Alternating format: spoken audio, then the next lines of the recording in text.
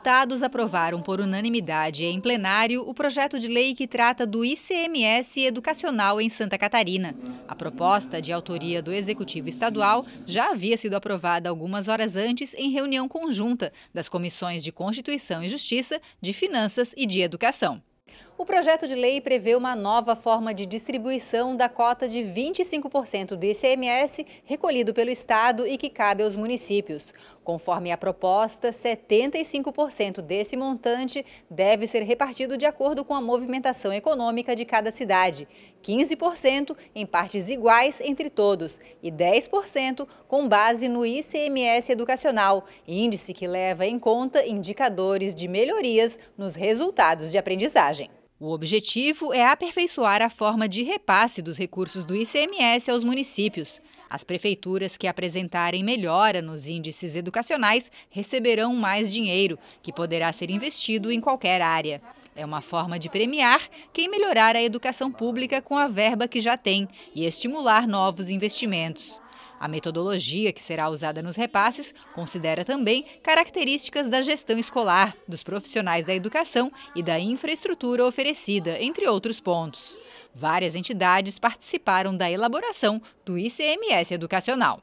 Este projeto tem um significado histórico para a educa educação de Santa Catarina porque a partir de agora nós temos, teremos um mecanismo de indução, de incentivo à melhoria dos nossos indicadores educacionais, de redução das desigualdades entre os nossos estudantes.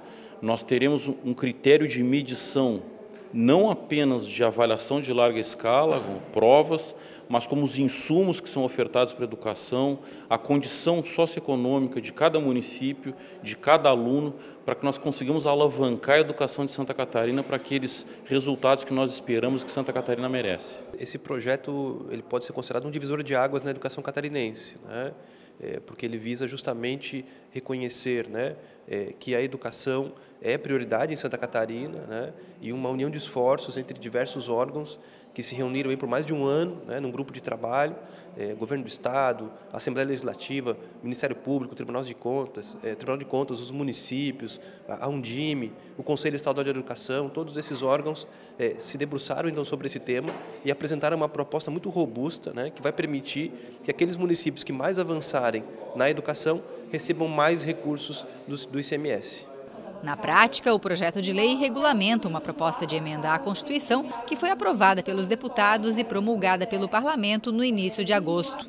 As alterações seguem o que prevê uma emenda à Constituição Federal, promulgada pelo Congresso em 2020, e que torna permanente o Fundeb, Fundo de Manutenção e Desenvolvimento da Educação Básica e de Valorização dos Profissionais da Educação. O texto aprovado pela Assembleia Legislativa define ainda que o percentual de repartição do imposto, que usa como base o ICMS educacional, terá aumento progressivo a cada dois anos, até atingir o limite de 15%. Em contrapartida, a cota que usa como base a movimentação econômica dos municípios deverá passar de 75% para 70%.